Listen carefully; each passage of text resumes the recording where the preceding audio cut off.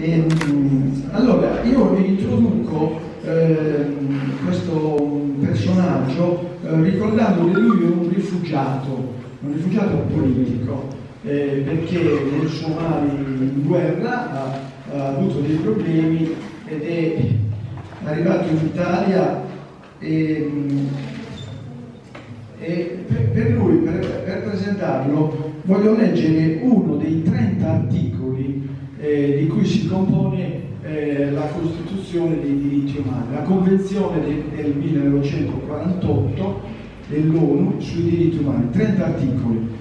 L'articolo 14 dice, riguarda il diritto d'asilo, se temiamo di venire maltrattati nel nostro paese, abbiamo il diritto di andare in un altro paese per essere al sicuro. Ecco, questo è eh, l'articolo che interpella uh, Somalia e um, un'altra cosa che voglio segnalare è che lui è l'autore di un libro, Sogni di uomo, il suo eh, primo libro, no? Il suo primo libro. E il suo sogno um, ho letto che è questo, il mio sogno è che ognuno possa vivere in sicurezza, abbia il diritto alla casa, all'istruzione, non muoia di fame o sia costretto a dormire per strada, come accade in Africa, soprattutto ai bambini, bambini che sono il futuro di questo mondo e che invece di essere sfruttati nelle miniere dovrebbero andare a scuola. Io do la parola al nostro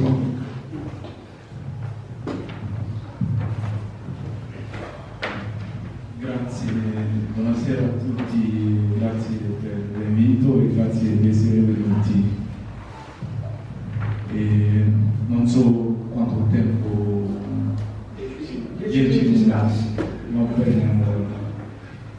E per partire, soprattutto parlando dei diritti umani in Africa, spesso lo dico, la responsabilità è è talmente grande che quando riguarda soprattutto quando si tratta dell'organizzazione delle elezioni in Africa, ci troviamo spesso con dei presidenti che non sono stati votati. E nel momento in cui questi presidenti vengono eletti, le elezioni sono organizzate. Da organizzazioni internazionali e sotto il naso dei supervisori che siano dell'ONU o dell'Unione Europea, le elezioni sono falsificate e ci troviamo sempre dei presidenti che il popolo non ha eletto e questi presidenti sono riconosciuti, a livello internazionale. Questo è un grande problema in Africa, è un, un diritto che viene negato agli africani spesso, soprattutto in Mali. Da circa 30 anni ci troviamo sempre con dei presidenti che non abbiamo voluto, che non vogliamo. E la seconda cosa che voglio accennare, soprattutto in Mali, oggi ci sono migliaia e migliaia di bambini che dovrebbero andare a scuola, si trovano con le armi. E credo che le organizzazioni internazionali lo sanno che siamo che sia Amnesty Internazionale, Unicef e altre organizzazioni al nord del Mali. Non si tratta solo del Mali, quando vai in Congo dove estraggono il corbate che oggi noi tutti in questo mondo sfruttiamo che si tratta eh, che sia il computer o i telefonini che usiamo eh, hanno delle cose che proviene dal Congo che è il Colbat e lì ci sono dei bambini armati a difendere il territorio dove estraggono il Colbat e questi bambini non difendono interessi delle multinazionali che non hanno nessun diritto e non hanno la possibilità di andare a scuola, ma sono armati a fare la guerra con chi? Con delle persone del posto, con i loro parenti, con i loro fratelli. E pure con gli aggiustamenti strutturali che portano in Africa, che ci costringono tagliare le spese sulla sanità, sull'istruzione. addirittura arrivavano a privatizzare le scuole, fino alle scuole elementari. E quindi chi non ha la possibilità di pagarsi non andrà a scuola. Questo è un grande problema che viene delle decisioni che vengono prese a livello europeo, soprattutto dall'Unione Europea, che parte dal 2009 con l'accordo del Benin che hanno, fanno finta di aiutare questi paesi, ma in realtà ci siamo resi conto alla fine che dopo 5-6 anni che avremo milioni di bambini che non avranno la possibilità di andare a scuola dovuto a questo problema e milioni di persone che non avranno la possibilità di curarsi perché i nostri governanti non si curavano quando hanno un piccolo problema per prendere l'aereo e partono verso l'Europa e l'America per curarsi. E chi non ha la possibilità, questa possibilità rischia di morire. E quindi non credo che sia una cosa normale che qualcuno muoia per non avendo la possibilità di pagarsi 100 dollari, 50 euro, non credo che sia una cosa normale. Sono delle cose che soprattutto provocano l'immigrazione, quando chiamano delle persone immigranti economici, ma non dicono le cause dell'immigrazione, di questa immigrazione. Sicuramente io non nego, non nego il fatto, ma dovremmo, dobbiamo avere anche il coraggio di denunciare il problema che fa che queste persone se ne vanno via, perché hanno creato delle situazioni che spingono tante persone ad andarsene.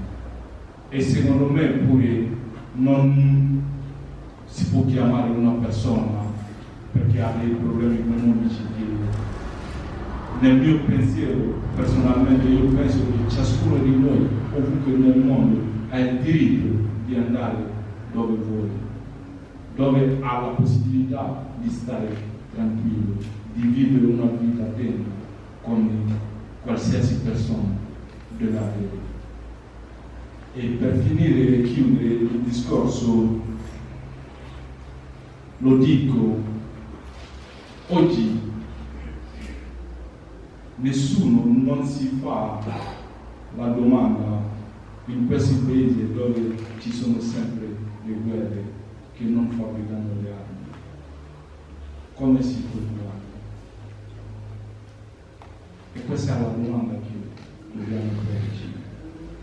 Sicuramente abbiamo la risposta. Oggi vai in Africa, ci sono circa 25 paesi dove non c'è stabilità. E in questi paesi non si fabbricano le armi. E penso che basta una decisione per fermare le guerre in questi paesi, no?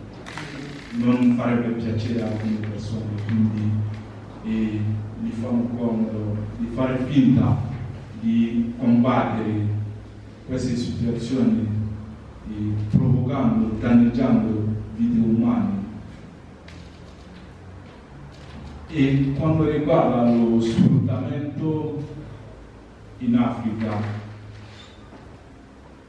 persone che vengono sfruttati, che siano donne, bambini, uomini, che sono costretti a lavorare nelle miniere e dove non hanno nessuna garanzia di protezione, che sono pericolanti.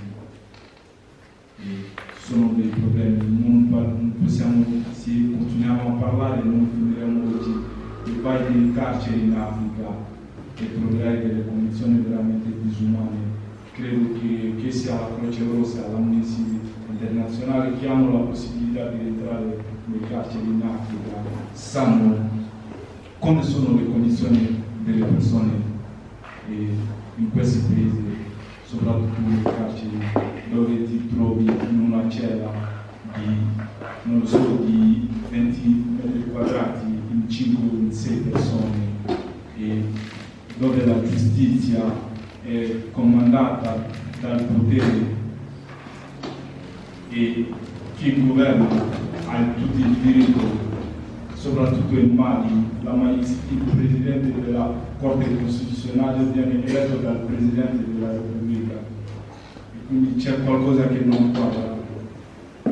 E, il Presidente della Repubblica sicuramente come prevede la Costituzione è il capo supremo della magistratura dell'esercito e quindi ha il potere di, che sia il Presidente dell'Assemblea nazionale, che è il Parlamento, il diritto di eleggere il Presidente della magistratura de, del Parlamento, il Senato non c'è in e pochi sono gli stati africani dove esistono i senati. E quindi questa è una cosa che fa riflettere. Non si può parlare di giustizia nel momento in cui Presidente della Repubblica ha il potere di nominare magistrati e il Presidente della Corte Costituzionale che pure ha il potere di, eh, di annunciare o di promulgare e il, quando vengono fatte elezioni dopo le elezioni è il Presidente della Corte Costituzionale che dice che firma chi chi ha vinto le elezioni e chi sarà il Presidente della Repubblica. E io che metto una persona, e come fa questa persona a dire che io non lo vinco? E la magistratura non è assolutamente in questi paesi e ci sono tanti paesi in Africa in queste condizioni, che sia il Congo, il Camerun, il Togo, il Mali, nella Repubblica Centrafricana, in Guinea Equatoriale in Gabon dove c'è una, quasi una monarchia e diversi paesi in Africa sono in queste situazioni. E ho quasi finito il mio tempo e vi ringrazio. È stato un piacere di poter condividere questo, questo fu un tempo con cui grazie.